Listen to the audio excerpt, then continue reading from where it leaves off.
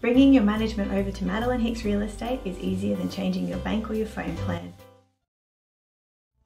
All you need to do is once you've signed your management agreement with us, we have a template that you can give your current agency for their notice period.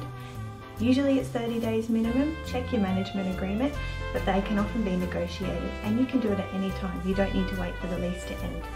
Once you've given notice, we take care of the rest. We'll contact your tenants to let them know we're taking over and when and where to pay the rent. And we'll also arrange collection from your current agent of all the documents and keys for your property. I'm Erin Ryan, Property Manager, Madeleine Hicks Real Estate.